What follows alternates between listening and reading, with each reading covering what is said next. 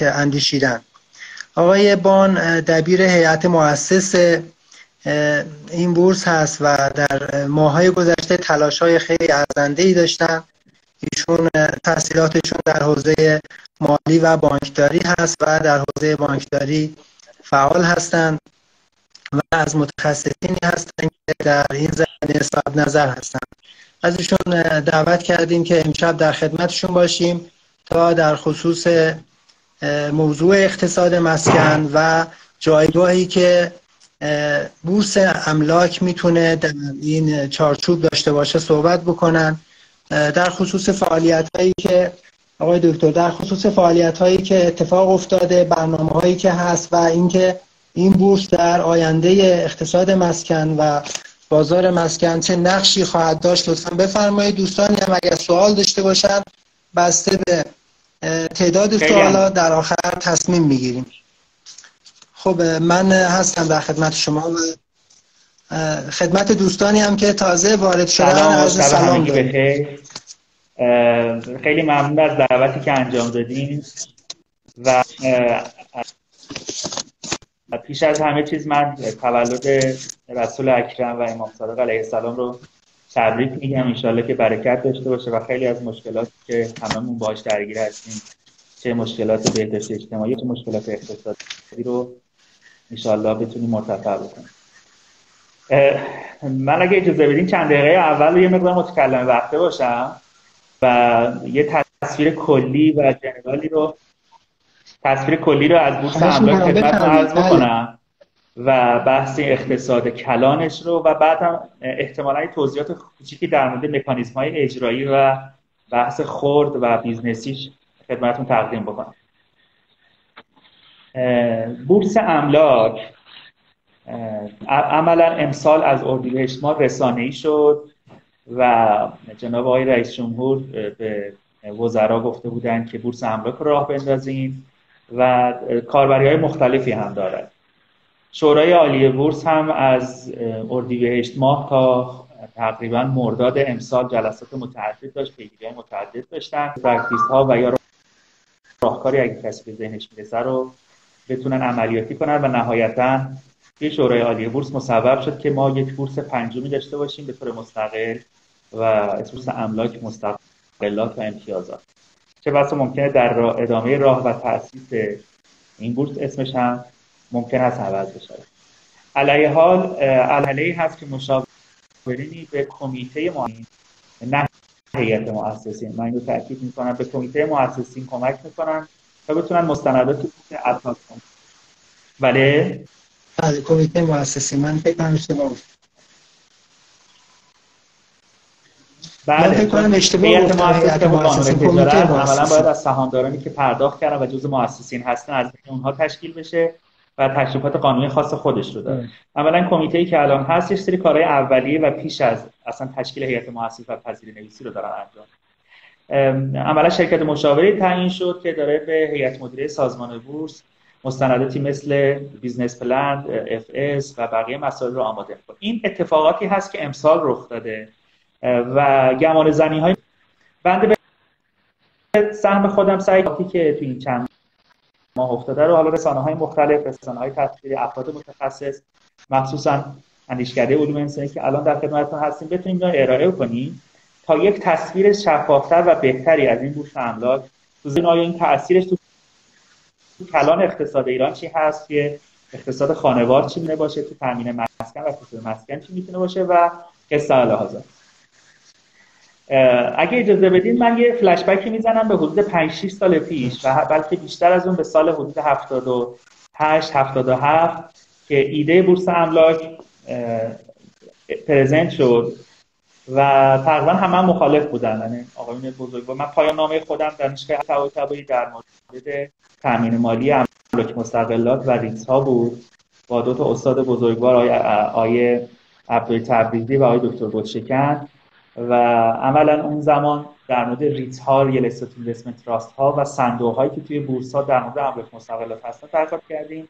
و بعد از اون روی market research ی که انجام دادیم همچین پتانسیلی وجود داره به خاطر سایز و سایز بازار و به خاطر ابزارهایی که تو بازار فعلا داریم چه بازار پول چه بازار سرمایه. و هم به خاطر صدق و علاقه که مردم دارن. یعنی بازار این پذیرش رو داره که توی همچین همچین دارایی هایی وارد بشود و سرمایه گذاری مستقیم یا سرمایه گذاری غیر مستقیم و به صورت اوراق مشتق انجام بده. عملا مطالعات ادامه پیدا کرد به صورت جست و گریخته تا سال 93 سال 93 به یک مدل رسیدیم. مدلی از بورس املاک چیزی که توی دنیا وجود نداشت و عملا همین الان هم خیلی قبل از که بقیه دنیا انجام بدن. و این یه بحث اقتصاد کلان داره و یک بحث اقتصاد خورد واقعیتش این هست که کار و سازوکارهای اقتصادی که توی ایران ما و ابزارها و نهادهایی چه تو بازار پولی و بازار سرمایه یعنی چه تو اقتصاد واقعی و چه تو اقتصاد اوراق و اوراقی و مالی وجود داره برای ایران متناسب با خودش باید طراحی بشه. مطالعات کشورهای دیگه خیلی خوب هست ابزارها نهادهای اونها خوب هست. ولی ایران به عنوان یک کشور در حال توسعه. کشوری شما فرض کنید مثل آلمان بعد از جنگ جهانی یا یک کشوری مثل ژاپن بعد از جنگ جهانی. اون زمان توسط بانک های توسعه براشون توسعه بدن یه همچین نهادی رو ما هنوز تو ایران نداریم. یعنی ما خیلی از بانک به اسم بانک توسعه معروف هستن. اولا بانک تخصصی نه بانک توسعه و اونقدر قدرت و توان ندارن. به خصوص در بخش املاک و مستقلات و مسکن. من اگه اجازه شما بدین فکر می‌کنم اگه بتونید صداتون صدامون رفت و برگشت نداشته باشید. پس اتفاقی که افتاد این بود که آره اگه لطف کنید. من صدا ببندم. اتفاقی که افتاد این هست که کل سیستم پولی و بانکی و حتی بازار سرمایه ما حدود 7 درصد از نیاز تامین مالی املاک و ساختمان و مسکن رو نتونست تامین بکنه. با همه این اوراق تسهی که تعریف شد صندوق های مختلف که تعریف شد پول هایی که به بانک مسکن تزریق شد برای مسکن مه و بعد از اون. پس دیدیم خیلی مستقیم نتونست این پتانسیل رو برآورده بکنه و اجابت بکنه. واقعیتش بود که واقعا بانک توسعه خاصی هم نداشتیم. قبل از انقلاب یه سری مؤسسات اعتباری بودن یه سیستم بانکی کار می‌کردن و اینها بعد از انقلاب ادغام شدن با بانک رهنی اون زمان و شد بانک مسکن. جالبه بدون اون 7 تا مؤسسه خصوصی منطقه ای که بودن میریم ترنوورشون رو نگاه می‌کنیم می‌بینیم اونا تونسته بودن تجهیز منابعی که انجام بدن. 7 برابر تجهیز منابعی یه بانک دولتی به اسم بانک رهنی انجام داده بود. و از قبل اون شهرک های مثل شهرک اکباتان نمی‌دونم ملک شهر اصفهان و خیلی پروژه های این تیپی مسکونی و غیر مسکونی راه اندازی شد. پس یه موز منتشر می‌کرد. یا کارهای دیگه می‌داد. این مسکوت مان تا حدود سه سال پیش. یعنی شورای محترم پول اعتبار بانک مرکزی یه دستورالعمل یا سه چهار سال پیش تدوین کرد که از این به بعد اگه کسی خاص مجوزی برای مؤسسات اعتباری اعتباری تخصصی مسکن به صورت منطقه یعنی برای استان فارس برای استان اصفهان برای استان تهران بگیره بیاد مجوزشو بگیره. یکی از بندهایی که اونجا اومده گفته که این مؤسسات برای بازار ثانویه‌شون و برای تصفیه حساباشون این اوراقشون رو بتونن توی بورس معامله بکنن. یعنی اولین باری بود که به جز حالا اوراق مشارکت و اوراق مشابه پس ما توی همچین ساختاری به سر می‌بریم. که یک سری ابزارهایی هست که یا خوب استفاده نمیشه یا هنوز عملیاتی نشده.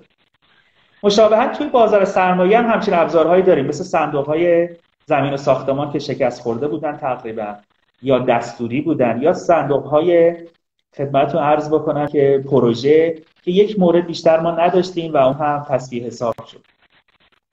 پس باید آرزه یابی های انجام می‌شد تا ببینیم در کجا قرار داره. و اقتصاد ما با این ابعاد حدود مثلا 400 400 میلیارد دلاری روی جی دی پیش و ترنوورش آیا چگونه می‌تواند بیاید یک بخشی از اقتصاد واقعی به اسم بخش اقتصاد مسکن اقتصاد املاک مستقلات و حتی بخش اقتصاد پروژه ها یعنی project finance تامین مالی پروژه های دولتی و بخش خصوصی رو کاور بکنه. اولا بازار پول و سرمایه موفق نبودن در این زمینه. بانک ها یه حدهایی داشتن خیلی وارد پروژه ها نمی‌تونستن بشن. کارفرما کسی بود که معمولا دولت بود نمی‌تونست این کارها رو handle بکنه تا به خاطر این دو سال گذشته ای که فروش نفت کاهش پیدا کرده بود. و عملا طرح بهینه که وجود داشت کسی طرحی نداده بود. یک نکته دیگه هم پیش اومد و اون املاک مازاد و املاک مازاد دولت بود. های دولتی که یه های بودجه اینو سپرده بودن به وزارت اقتصاد که شما مسئول امور مالی و دارایی مملکت هستی این املاک رو شناسایی کن و بفروش روش های مرسومی مثل روش مزایده که خیلی از بانک ها این کارو می‌کنن. یا خود دولت اگه می‌خواد عرضه وجود داره. سمت تقاضا چند نفر می‌تونستن بیان این چند رو خریداری کنن؟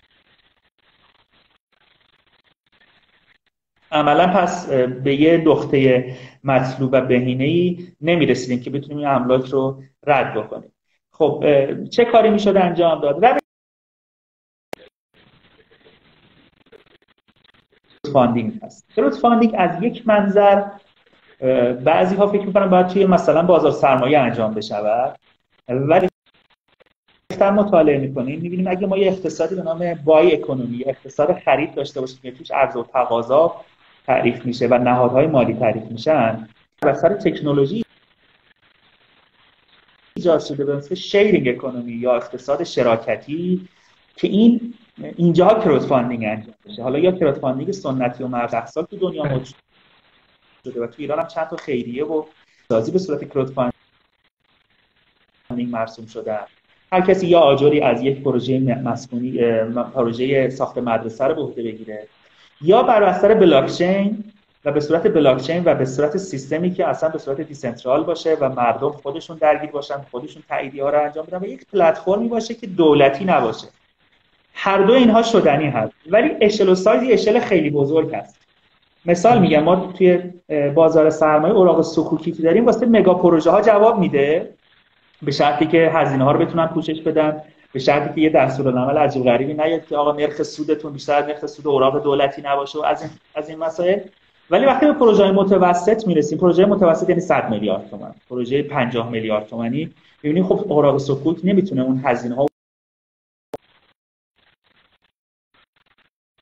شاید با حدود پروژه 700 800 میلیارد تومانی مثلا منطق داشته باشه که شما بتونید اوراق سکوتی حالا هر نوع سکوتی مرابع استثنا یا اجاره رو منتشر بکنید. اینا رو داشتم می‌گفتم که بگم آقا ما الان یه موقعیتی هستیم که یه اقتصاد تقریبا ایزوله هستیم خط اعتباری با بقیه بانک های جهان نداریم روش های مرسومی که تا الان اجرا می‌شد برای ما عملیاتی نیست و نیاز به یک طرح نوینی داریم. برای طرح نوین هم حالا اسمشو بذاریم بورس املاک یا اسمشو بذاریم پلتفرم املاک یا مارکت پلیس املاک یا هر چیز دیگه ای یک طرح اینجوری می‌خواستیم تا بتونیم هم نقش دولت کمرنگتر بشه هم دولت بتونه خودش بازی بکنه سیاست گذاری و نظارت رو انجام بده ولی اجرا و عملیات دست خود مردم بشه این توضیحاتی که الان دادم همش در مورد بورس املاکه. سه تا موضوع رو شما ابتدای مقدمه که فرمودین عرض کردیم و این بود که یکیش بحث اقتصاد اسلامی رو مطرح کردیم. ما تو اقتصاد اسلامی بحث اقتصاد تعاونی رو داریم. که تقریبا هم کشورهای دیگه همچین مدل و حتی کشورهای اسلامی که ادعای یا اقتصاد اسلامی هستن بحث تعاونی رو کمتر کسی کار کرده. و توی ایران خود ما هم کار نشده. یعنی الان چلو چند سال که از انقلاب و این بحث اقتصاد سه رکن دولتی و تعاونی توی قانون اساسی مطرح شده شما هیچ ساختار اقتصاد کلانی برای اقتصاد تعاونی نمی‌تونید جایی ببینید. یعنی ما یه وزارت اقتصادی داریم که متولی یا بانک مرکزی. حمایت کشته همه در سطح اقتصاد خورد یعنی مثلا یک نهاد هستن گفتن بانک توسعه تعاون. گفتن یه قانونی داریم مثلا داری وقتی میری محتواش می‌کنیم می‌بینیم اصلا محتواش اقتصادی نیست. محتواش اجتماعیه. بعدم اینجوری شده که بده که این تعاون یا رو رفته تو وزارت حالا زمان خودش وزارت تعاون تو وزارت رفاه اجتماعی. وجهه اجتماعی غلبه پیدا کرده. آیا من اگه اقتصاد تعاونی رو معادل با شیرینگ اکونومی بگیر هم بود اقتصاد کلان تعریف بکنم و هم بود اقتصاد خورد و آیا این بورس املاک می تواند یک محملی باشد برای رسیدن به این نتیجه و به این هدف که به نظر ما شدنیه و این اتفاقا خیلی هم خوب است. یعنی ما توی ایران یه قانون کلانی داریم و اون قانون کلان گفته آقا شما اقتصاد تعاون داشته باشید. ولی وقتی می‌بینید اخت... قانون های زیر مجموعش مثل قانون تعاون یا قوانین دیگر ملاحظه می‌کنید می‌بینید که اصلا ماهیت و روح اقتصادی توش تعریف نشده. بیشتر یه حالت سنفی داره. یعنی شما قانون اقتصاد تعاون جمهوری اسلامی ایران رو که مطالعه می‌کنید می‌بینید اونجا اومده یه چیزی شبیه اتاق بازرگانی رو تعریف کرده. یه چیزی شبیه اتاق اصناف تعریف کرده و آخر سر اتاق تعاون ایران تشکیل شده که بیشتر سنفیه. از عملا اون عملکرد اقتصادی و اون market design یا economic design ی که ازش مد نظر بود و توقع می‌رفت رو نتونسته پوشش بده. پس یک اسم خوب داره ولی یک پوسته و عمق ضعیفی داره. توی بورس املاک می شود با این رویکرد رفت جلو. یعنی بگیم که okay ما نیاز به سری قوانینی داریم تا مردم بیان توی بازی و کار شدنی باشه. اساس تعریف شد. بر اساس قوانین فعلی پتانسیل های فعلی و احتمالا یک سری اصلاحات اصلاحات آتی پیشنهادی که اردیبهشت ما به شورای عالی بورس داده شد بر این مبنا بود که اگر قرار است یک بورس املاک راه بیفته به جای اینکه بریم تکنولوژی سی سال پیش 40 سال پیش یک بورس متمرکز را انجام بدیم با یک فناوری 20 سال پیشی که الان فرابورس یا بورس تهران یا بورس کالای ما داره عملیات می‌کنه بیایم با تکنولوژی های فعلی انجام بدیم و اگه قراره ساختاری توی یک سال دو سال آتیش شکل بگیره بر اساس فناوری نوینی که الان در دسترس ما هم هست. تقریبا نیستیم. دانشش هم داریم تستاش هم انجام دادیم. بیایم بر این اساس یک بورس املاک رو تعریف بکنیم. تو این بورس املاک بتونن مردم با هم دیگه fair play داشته باشن. بتونیم گردش های مالی ایجاد بکنیم بتونیم املاک مازاد دولت رو بفروشیم بتونیم برای پروژه ها project finance انجام بدیم. بتونیم اوراق بهادار یا اصطلاحا ما بهش میگیم securitize کردن اوراق بهادار سازی انجام بدیم و در کنارش الان این توان و پتانسیل وجود داره که tokenize بکنیم. یعنی توکن ایجاد. توکن یه تفاوت ماهوی اجرایی با security یا اوراق بهادار داره. و اون تفاوت به خاطر سیستم معاملات و غیر اینا رو همه رو دارم بلند بلند میگم. یا که یک picture ایجاد بشه که آقا ما از کجا شروع کردیم و الان به کجا رسیدیم شورای عالی بورس هم اینو تصویب کرد. بعد پرزنت های مختلف با نهادهای متعددی مثل نهادهای صاحب زمین مثل بنیادهای مختلف از آستان قدس تا بنیاد شهید تا سازمان تامین اجتماعی. و بنیاد مستضعفان و خدمتتون عرض بکنم که این با این گروه ها مذاکره انجام شد حتی دانشگاه آزاد وزارت آموزش پرورش و همه اینا گفتن آقا ما حاضریم بیایم که این گردش مالی این پی رو داره می‌تونه این مشکل رو از مل کنه می‌تونه پول هایی که الان فریز شده توی املاک توی پروژه های ملکی رو اینها رو آزاد بکنه. به اضافه که ما کلی زمین داریم. اگه قرار شما مسکن برای مردم بسازید تو بافت فرسوده یا توی درجه طبق اساسی که قانون اساسی شهر ببرشون بیرون شهر و شهرک سازی بکنی. تو خود شهر تهران هم همین الان پتانسیل ها وجود داره و ما حاضریم این آورده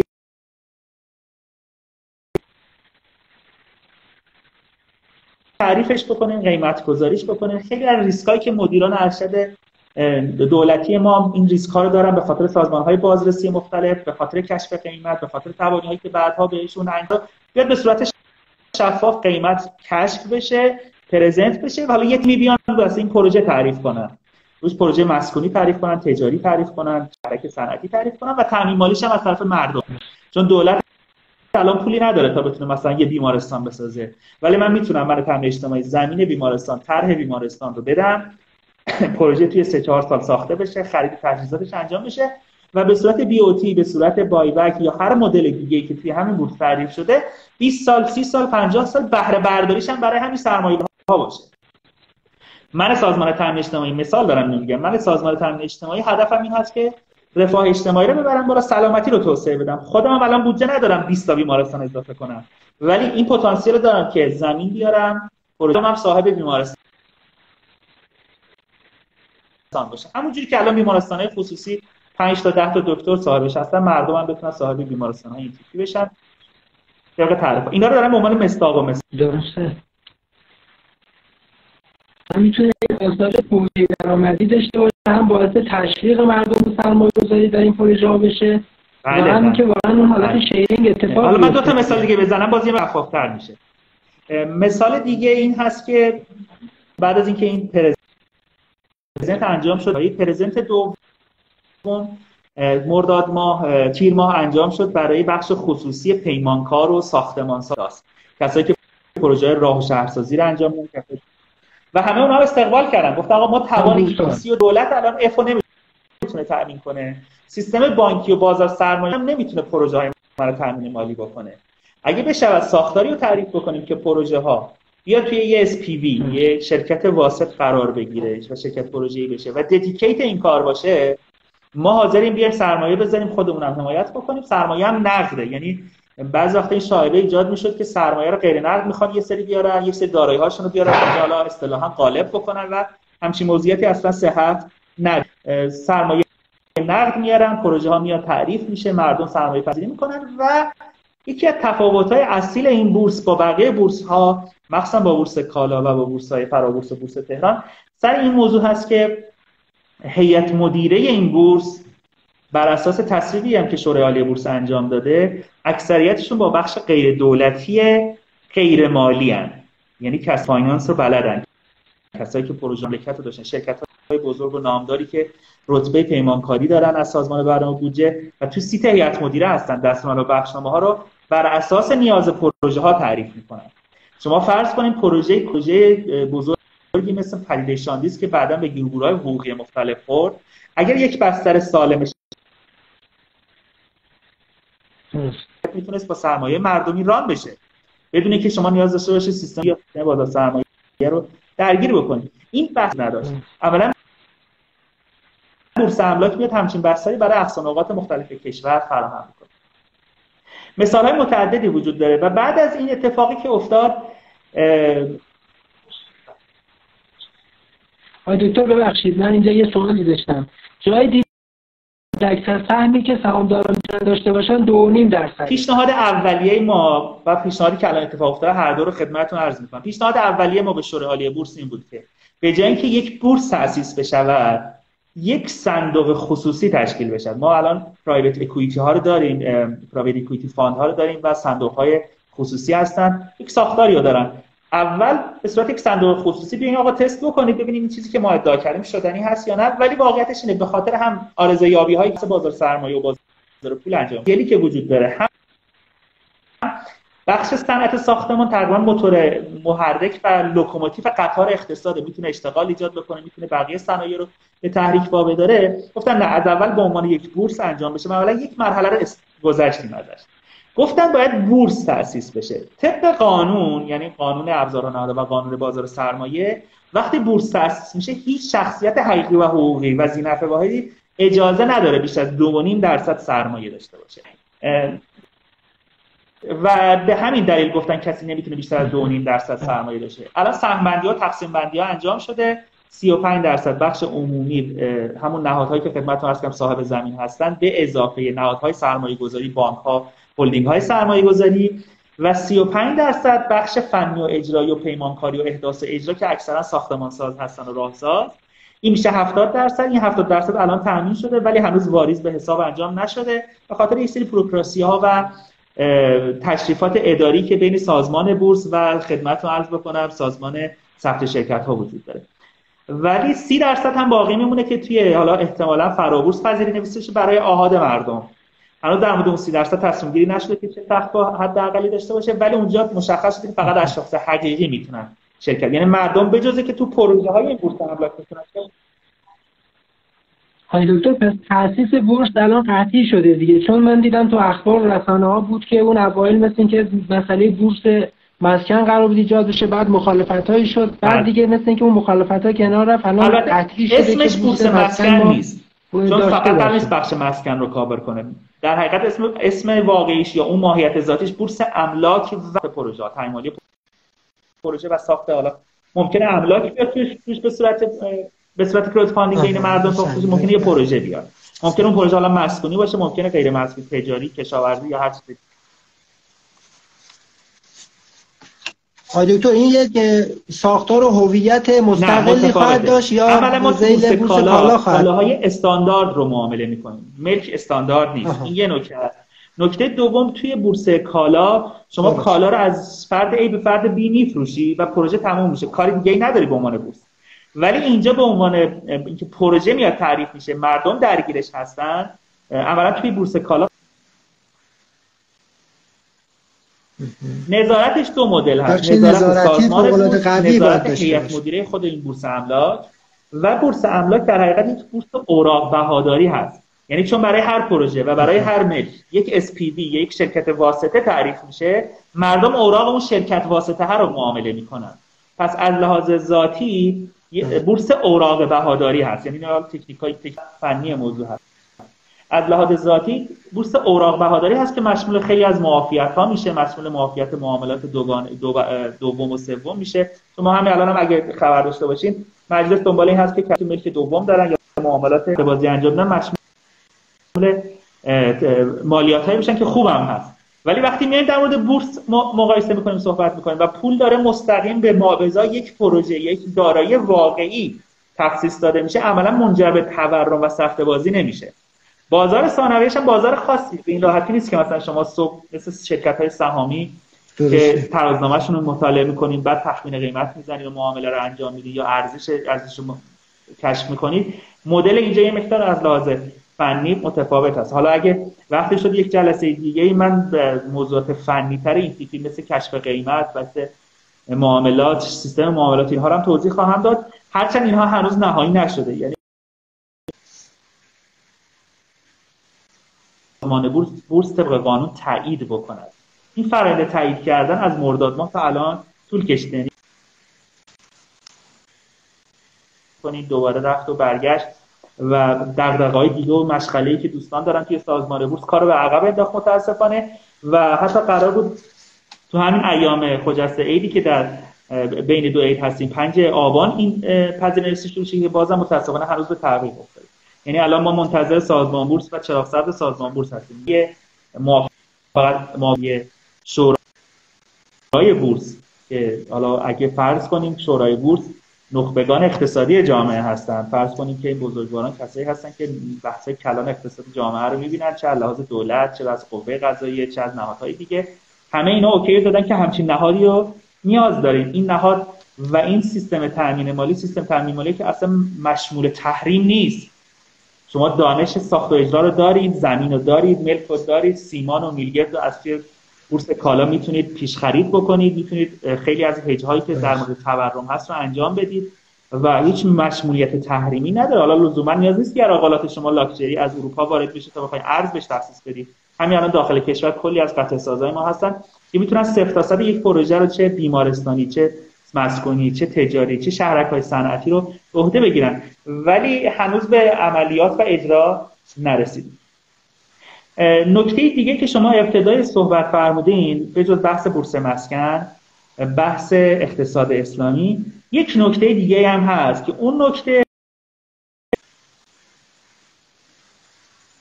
در مورد اقتصاد شراکتی و اقتصاد شیرینگ اکونومی و اقتصاد بای اکونومی و خرید خدمتتون عرض کردم روی تعاریف پول در دنیا اثر گذاره پول اون چیزی هست که خون اقتصاده و توی رگهای اقتصاد جریان داره و اگه یک جای این رگ مثل اقتصاد فعلی ما تو املاک لاکچری یا املاک مازاد دولت و بانک ها این پول قفل بشه فریز بشه کل سیستم به هم میریزه. یک زمانی ما در مورد یک اقتصاد آزاد صحبت می‌کنیم یک زمانی ما در مورد اقتصاد ایران صحبت می‌کنیم که به دلیل شرایط تحریم مخصوصا تو دو سال گذشته سقفش بسته شده. مثل یه گلخانه میمونه که داخل خودش باید اکوسیستم رو تعریف بکنه. پس من باید اول شروع بکنم این نقاطی که گرفتگی این عروق وجود داره در مورد این پول رو حل بکنم. دو تا کار میشه انجام داد. جراحی انجام داد که هنوز جراح حاضری پیدا نشده به نظر من تا بتونه این جراحی اقتصادی رو انجام بده. راه دوم که راه اساسی و بنیادین هست و الان دنیا هم به این سمت رفته که علاوه بر پولهای فعلی که تو دنیا به پشتوانه دولت ها و به اعتبار بانک مرکزی ها چاپ میشه پولهای دیجیتال جدیدی چاپ بشن. معروفشون بیت کوین هست. پولهای جدیدتر دیگه هستن که به پشتوانه نفت طلا یا کالاهای اساسی و کارتر عرض بکنم سنگ های گرا تعریف شدن. و مشکل شرعی هم ندارن به خاطر اینکه ما به ازای همون توکن یا ارزی که منتشر میشه ما به ازاش یک دارایی واقعی وجود داره. یکی از اون دارایی ها می‌تونه املاک و پروژه ها باشه. تقریبا سه چهار سال هست که این مدل پول تعریف کردن این پول تست شده توی دنیا. ما هم همین تست رو از سال 96 97 و 98 انجام دادیم. کردیم به اسم یوز کوین که به پشتوانه همین بورس املاک و معاملاتش انجام میشه. این بحث خیلی حادتریه نمی‌دونم چقدر در جریان هستین. از آیت خامنه ای سال 69 اعلام کردن که آیون اقتصادی. برید مطالعه کنید در مورد پول. پول رو در هر مکتب اقتصادی که مطالعه بکنید. تک تک مکاتب اقتصادی غربی شرقی نمی‌دونم اسکاندیناوی یا هر جای دیگه که مطالعه بکنید روی تعریف اول یک رفت مستقیمی به اینترست و بهره داره. و اون تعریف بعد بقیه ساختارها تعریف میشه. بانک مرکزی سیستم کنترلی سیاست های پولی و بقیه مسائل قصه ها اولا ما تو چل سال گذشته هیچ کاری در مورد تعریف پول انجام ندادیم. همایش برگزار کردیم مقالات توریست درست نوشتیم ولی کار اجرایی هیچ کس شروع نکرده. به مدد تکنولوژی و اتفاق این توسعه پیدا کرد. خارجی هم شروع کردن یک پول دارایی پشت سرش باشه. ممکنه این دارایی دیجیتال باشه ممکنه این دارایی ملک باشه ممکنه این دارایی پشت سرش طلا باشه. و این پولا به پشتبانه اون دارایی که پشت سرشون هست یه قدرت رو پیدا می‌کنن و اون قدرت قابلیت اینو پیدا می‌کنه که شما بتونید یک پول جدید رو تعریف بکنید انشالله اگر روز این بورس املاک راه بیفته یک سال بعد دو سال بعد اوراق بهاداره که توی این بورس املاک معامله می شود قابلیت اینو داره که به عنوان پول تعریف بشود. اتفاقی که توی دنیای امروز افتاده و تو دو سه ماه آتی حالا دوستانی که الان اینجا دارن می‌بینن یکی سری دوستان دیگه هم دارن استراتژی ملاحظه می‌کنه از موبایل دیگه. اتفاقی که تو دو سه ماه آتی داره انجام میشه توی دنیا این هست که این پول های جدید پرزنت میشن. توسط صندوق بین المللی پول توسط بانک جهانی توسط بانک مرکزی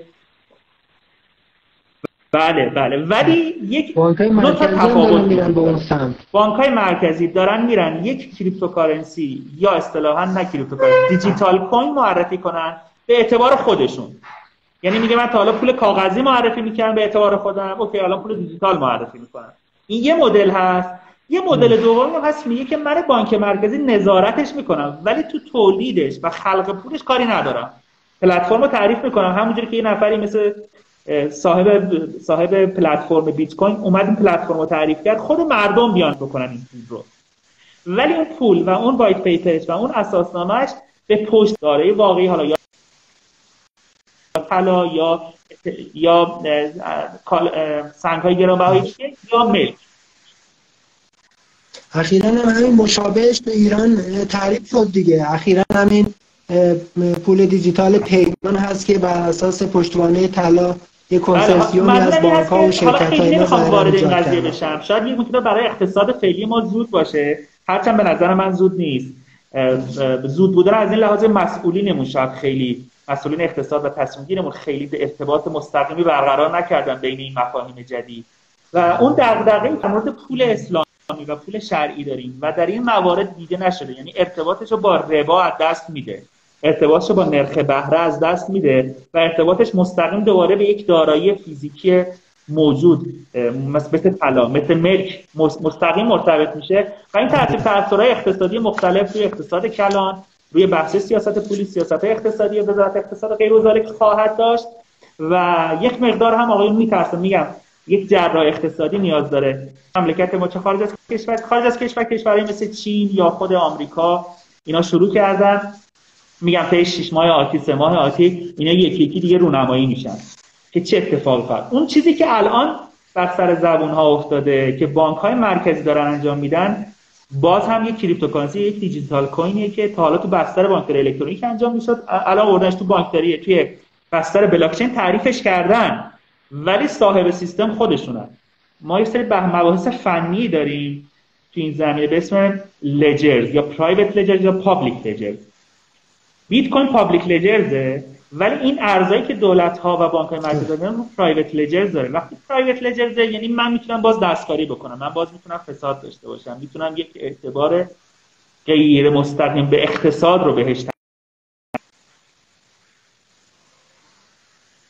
تازه اینا به همه شرایط که بتونه اقتصاد رو خوب مدیریت کنه. علیه می‌خواستم بگم سه تا نکته ای که شما ابتدای صحبت فرمودین و من به همون استناد کردم یکی بورس املاک.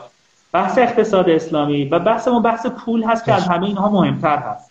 یعنی اگه بتونیم ساختار پول رو درست تعریف بکنیم که ما ادعا داریم بر اساس بورس املاک و اوراقی که اوراق بهاداری که این بورس املاک معامله خواهد شد می‌توان پول ملی جدیدی رو تعریف کرد به جای اینکه من منتظر باشم بگم بانک جهانی تو پول تو به من بگو یا یوان چین یوان دیجیتال شما رو تو ایران میپذیرم مردم از این به بعد یوان معاملاتی که ما با, با تو جاده ابریشم با کشورهای مختلف داریم. بیاین از یوان دیجیتال استفاده به جای این بتونم خودم یک cryptocurrency ملی و شرعی داشته باشم و حتی این cryptocurrency رو توسعه بده کشورهای دیگه. کشورهای چه این سه تا نکته هست. ولی آیا چقدر اینا رویا پردازیه و چقدر اینها واقعیت داره و شدنی؟ هست یک توضیح دیگر میدم. باز به بورس املاک رفت داره. جان؟ و البته چقدر ضرورت داره آقای دکتر. ضرورت چه؟ الان خدمت و البته چقدر بله ضرورت بله داره. بله بله. ببین ضرورتش یکی از یکی از ضرورت این هست که ابزارهای کنونی جواب نداده. یعنی بانک مرکزی من و بانک های دیگه من نمی‌تونن می‌خوام. نمی‌تونن قطع شد. یکی از ضرورت ها شرایط فعلیه. خب؟ یعنی من باید بالاخره این گردش مالی رو ایجاد بکنم.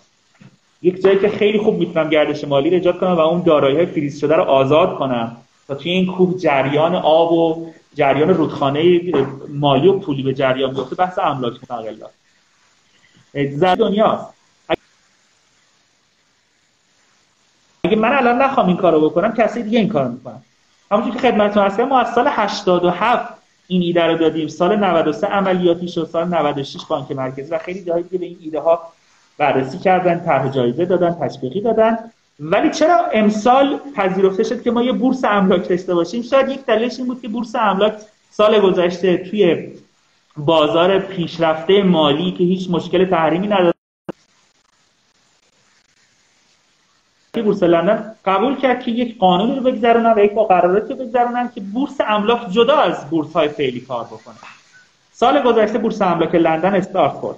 شاید همین یک مقدار ترس آقایون ریخت که می شود در داخل کشور هم کار عملیاتی انجام داد. می شود بورس املاک داشت. حالا نه لزوما برای تعریف پول یا یک پول جدید ولی به عنوان اینکه این ضرورت داره به خاطر گردش مالی که ایجاد می‌کنه. به خاطر تفاوت‌های ماهوی که ما رو کالاهای همگن و ناهمگن داریم.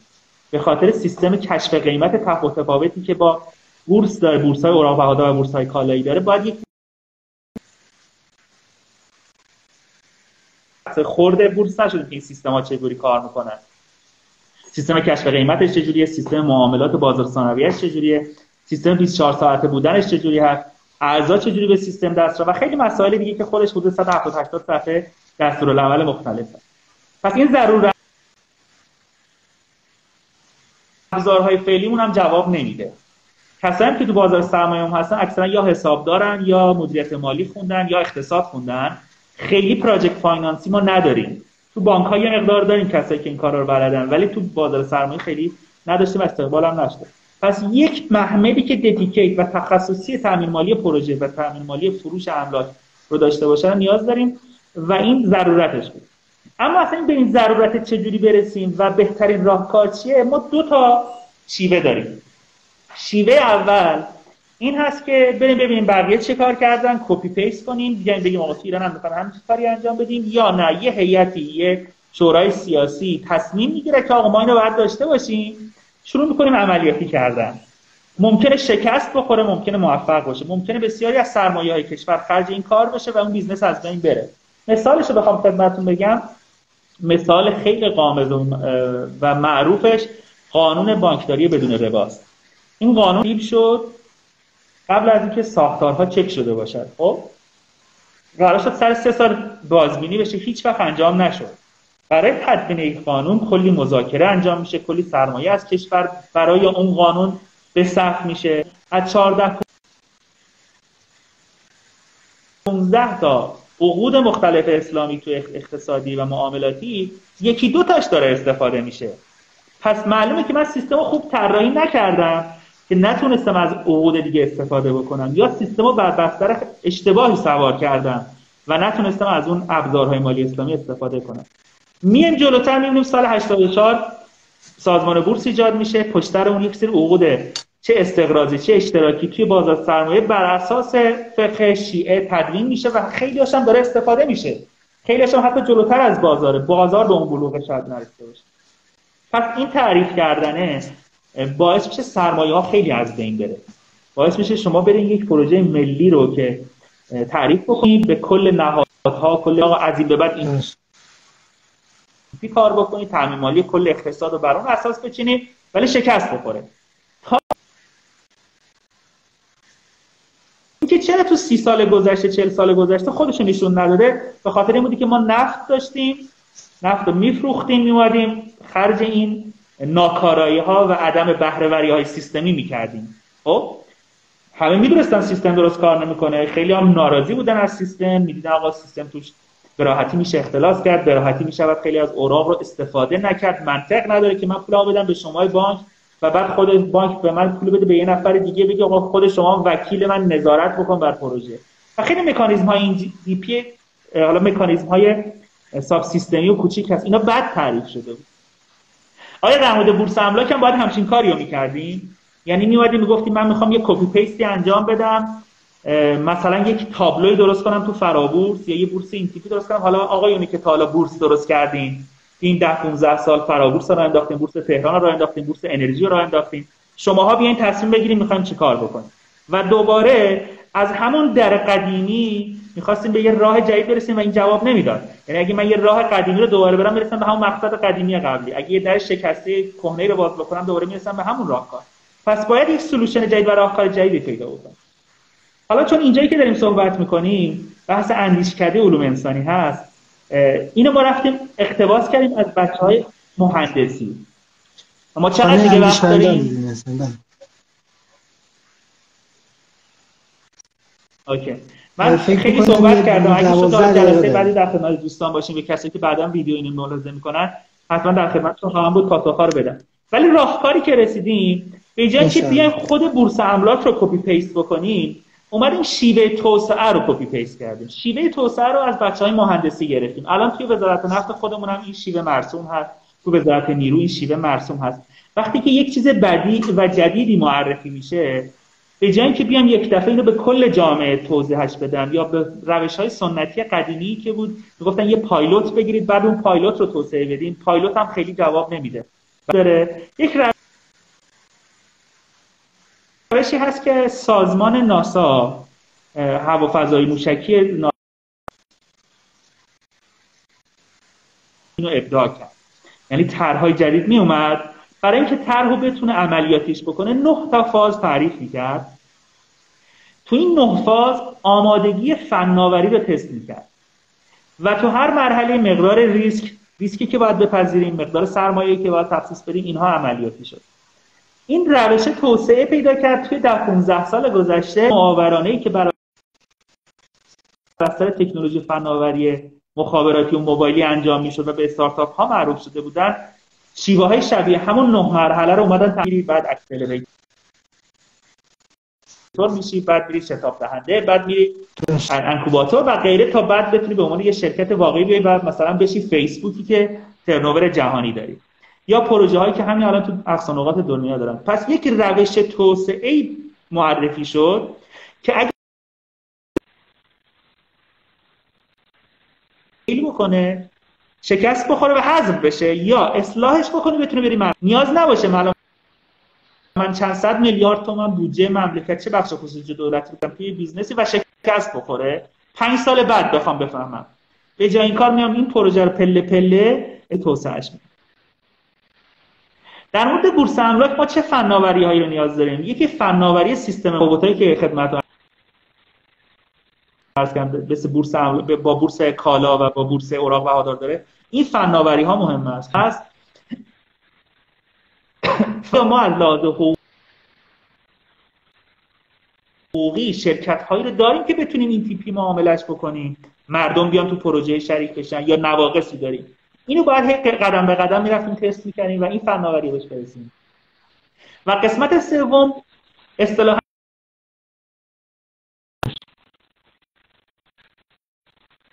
بازار برای مردم وجود داره استقبال می‌کنن یا نه؟ من همینجوری الان دارن توهم می‌زنن. من همه پروژه های مملکت و چه پروژه های تبصر 19 که نیمه کاره هست چه پروژه های جدید چه پروژه های بخص همه رو میام میریزم تو این بورس املاک مردم بیاین سرمایه گذاری کنن. اصلا پتانسیل و سایز این با درآمد گردش مردم حالا بیان پول بدن.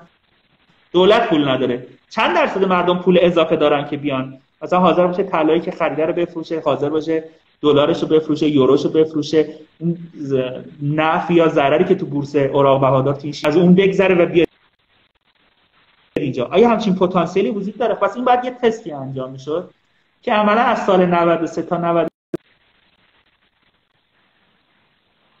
97 قرار شد پایلوت این یعنی اون فاز توسعه ششم یا پنجم همین طرح توسعه که ریخته بودیم در شهرداری تهران برای پروژه املاک انجام شد متاسفانه خورد به این تغییر تحولات که شهرداری تهران رخ داد و شهرداری تهران چند نوبت عوض شد. عملا پروژه مسکوت باقی ماند و الان باید فاز 7 و 8 و 9 رو انجام بدیم برای بورس املاک. یعنی اگه بخوایم طبق برنامه پیش بریم. عملا شورای عالی بورس گفتش فاز 7 رو ازش بگذاریم یه دفعه بریم فاز 8 و بورس راه بیفته. ما پیشنهاد دادیم برای فاز 7 یک صندوق پرایوت اکوئیتی راه بیفته. فاز 8 باید بورس بشود. گفتن نه آقا فاز 7 نمی‌خواد یک دفعه بریم فاز 8 و 9 و الان تو این مرحله هستیم. یعنی خود این بورس املاک تا به بلوغ برسه فرض کنید فردا روزگاری همین فردا سازمان بورس مجوزش صادر کرد. پذیر نویسی انجام شد. یه سه چهار ماه زمان داره دستور عمل این هاش دوباره مجوز و تصویر سازمان بورس رو بگیره. بعد یواش یواش پروژهاتش ببین خودش پروژه یک سال است. فرض کنیم این فاز هشتم توسعه بورس املاک حدود دو سال طول بکشه و فاز نهمش هم یه سه یا پنج سال طول بکشه و بعد از اون از این بعد اصلا این بورس املاک با این ساختار کار بکنن مسائل حقوقیش این باشه. اون اقتصاد شراکتی که خدمتتون عرض کردم و تا حالا تو ایران در موردش تعریفی نشده. اقتصاد تعاون به غلط تعریف شده. از این بعد با این ساختار بیاد نه فقط برای هم که برای بقیه پروژه پروژه نفتی پروژه های کشاورزی پروژه های داروسازی و غیر هم انجام بشود و مردم منتفع باشن پس یک راه بلندی رو هنوز در پیش داریم تا به اون مدل ایدئالی که خدمتتون عرض کردم و می شود یک پول سعی کردم خیلی خلاصه تو این 50 دقیقه یک ساعت توضیحات رو بدم خدمت دوستان و بینندگان و شنوندگان. ولی خیلی جزئیات داره خیلی ریزکاری داره. تو چه تو بحث اقتصاد کلانش و تاثیر تاثیرهایی داره. مثل دغدغه که خیلی در مورد سفت بازی در بازار بخواد انجام شد در مورد دستکاری خیلی بله بله آقای دکتر. این موضوع بله. اتفاقا جز سوالات هم بود. سوالاتی هم که من خودم هم داشتم. چون از وقتی که این مسئله بورس املاک مطرح شد گفتن که قیمت ها که بالا رفته در بازار بیشتر به خاطر سفت بازی و سوداگری مسکن هست. حالا ما اگر بورسی درست بکنیم اونجا افراد می‌تونن متری هم بخرن و این فروش متری باعث میشه که بیشتر دلالی و سوداگری و این چیزا رونق بگیره. این خطر بوده. البته من فکر می‌کنم خیلی وارد من خیلی خلاصه بگم خدمتتون. ببینید تو بازار سرمایه چرا قیمت ها میره بالا؟ آیا فولاد مبارکه منتفع میشه؟ نه. بازار سرمایه قسمتی داره که ثروت رو زیاد می‌کنه یه قسمتی داره که تامین مالی انجام میده. وقتی اوراق بهادار مدام داره قیمت می‌خوره اصلا کاری ندارم دستکاری با دولت و نهادهای سرمایه گذاری یا نه. بازار داره نوسان خودش انجام میده و یه قیمتی میره بالا. این ثروت اون آدمه که سهم داشته کم و زیاد شده. میفروشه با یه پول بیشتر میاد بیرون. آیا به اون شرکت تولیدی هم لزوما پولی رسیده؟ نه. ما یکی از ضعف‌های بازار سرمایه‌مون همین هست. که به راحتی نمی‌تونه این پول و نوسان رو منتقل بکنه به شرکت ها وقتی من دارم بورس املاک رو که بیشتر پروژه توش تعریف شده اینو از این بورس فشل جدا می‌کنم میارم یک ساختار به اسم بورس املاک و جداگونه براش تعریف می‌کنم و به خاطر خاصیت ذاتی و ماهیتی که املاک و پروژه ها دارن که اصطلاحا میگیم لشن. لش بودن یعنی که liquidity ندارن. liquidity پایینه. شما هر روز نمی‌تونی اینو به سفته بازی بکنی. یه نکته خیلی مهمه. دو پولی که توی fundraising یا تامین مالی بورس املاک انجام میشه مستقیم به یه پروژه وصل میشه. مستقیم به یک ملک وصل میشه که اون ملکی حالا یا اجاره داده شده مثلا ساختمان فلان بانک به خود بانک اجاره داده شده. و یه حاشیه سود مشخصی داره. اگه بخواد قیمت اوراق مبتنی بر اون باعث نوسان بشه یا باید تورم کل اقتصاد ملک رو گرون کرده باشه یا قرارداد اجاره اونجا افزایش پیدا کرده باشه. ولی با سفت بازی شما نمی‌تونی بیاین اون ملک ها رو دستکاری بکنی. یه نکتهش اینه. نکته دوم این هست که کف اوراق بهاداری که توی بازار سرمایه ما معامله میشه 100 تومنیه. و هر کسی می‌تونه بیاد وارد بازار سرمایه بشه. این بهش میگن حالا لات معاملاتی این اندازه معاملاتی چقدر باشه؟ حساب کتابایی که ما انجام دادیم البته دو تا معادلات انجام شد. کف معاملات توی بازار سر بازار املاک 25 میلیون تومن البته ممکنه تا راه بیفته این به حدود 30 میلیون تومن برسه. کف معاملاتی اونقدر بالا هست که شما نتونید سفته بازی کنید قیمت یک منطقه یک محله رو عوض بکنید. مثال مشابهش رو میگم خدمتتون. یک زمانی future طلا ایجاد شد و خیلی هم خوب بود. به این بهونه که future طلا سکه تو بازار گرون بشه جلوش گرفتن. یعنی نه مشکل شرعی داره نه هیچ مشکل دیگه. به یک دلیل ناموجهی که یک سری طلا رو future ش محسوب کردن و معامله نمیشه. آیا از زمانی که اردیبهشت پارسال future طلا دیگه تو بازار سرمایه ما نیست طلا گرون نشده؟ شده. پس اصلا اومدن یک راهکار غلطی رو ربط دادن به یک solution درست و اون solution خوب رو متاسفانه حذفش کردن. در مورد املاک هم همینجوره. که من امیدوارم هیئت مدیره آتیش هر کسی که هست هیئت مدیره سازمان وزارت اقتصاد کسایی که دولت فعلی و دولت بعدی داعیه‌دار اقتصادی کشور میشن این ریزکاری ها رو دقت داشته باشن. قرار هست من تامین مالی انجام بدم.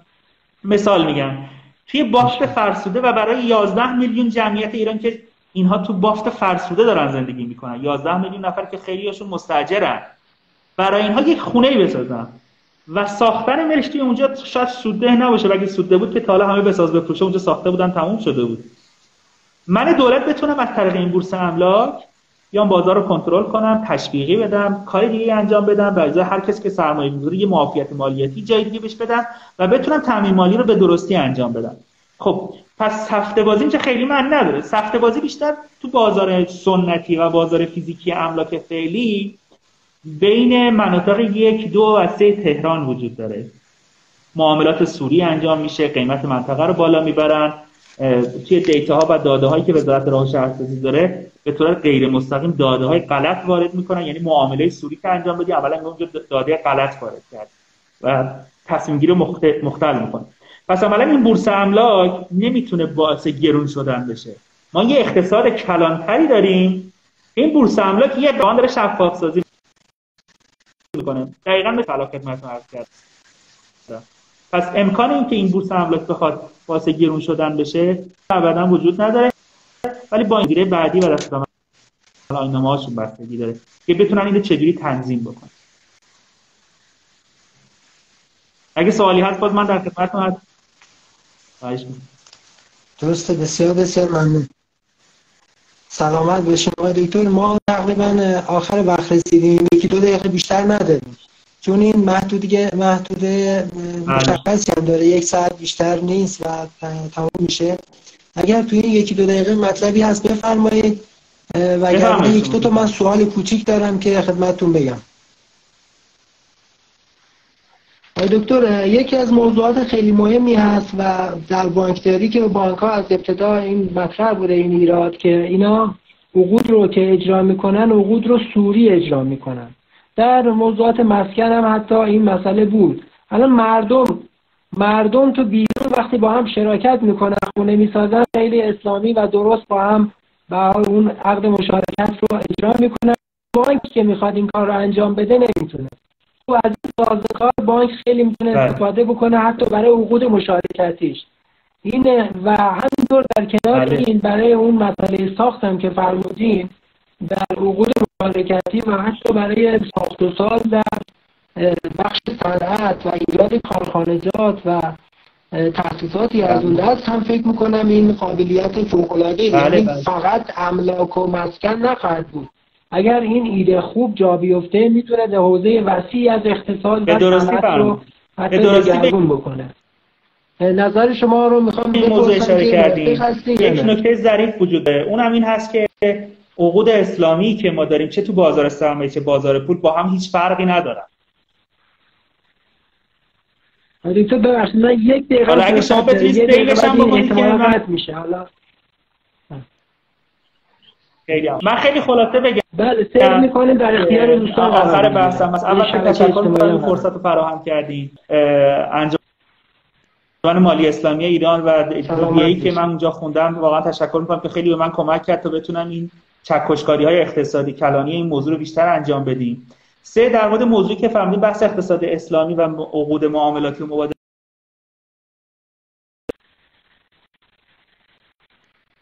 هم ندارن.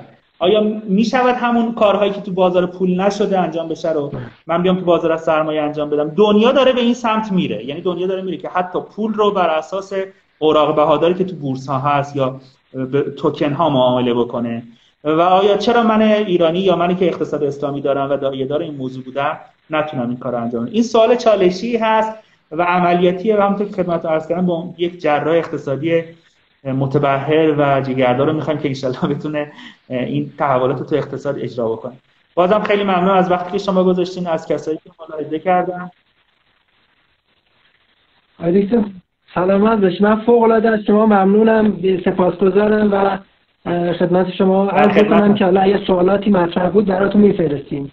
اگر فرصتی باشه بعدا در این موضوعات خاصی که مطرح کردیم به ویژه این استفاده از تکنولوژی بلاکچین برای این موضوع و حالا خود اون مارکت شما بازم در نکنه خیلی ممنون. شبتون بخیر. بازم عید و تبریک میگم. شما در نکنه. سلامت باشین. خیلی ممنون. شب شما بخیر. خدا نگهدار شما باشه. سلامت باشین.